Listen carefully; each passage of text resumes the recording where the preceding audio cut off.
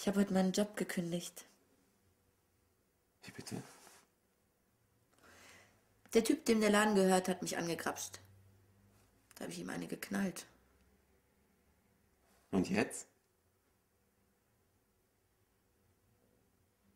Irgendwie tut er mir leid.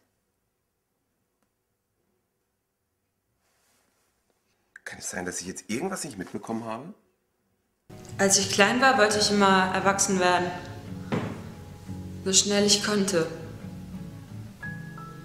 Und jetzt? Weiß ich nicht mehr, was das soll. Ich weiß nicht mehr. Die Zukunft, wie ich sie sehe, ist ein Warteraum. Eine Halle mit einer großen Bank oder ein Bahnhof. Und draußen gehen permanent Leute vorbei.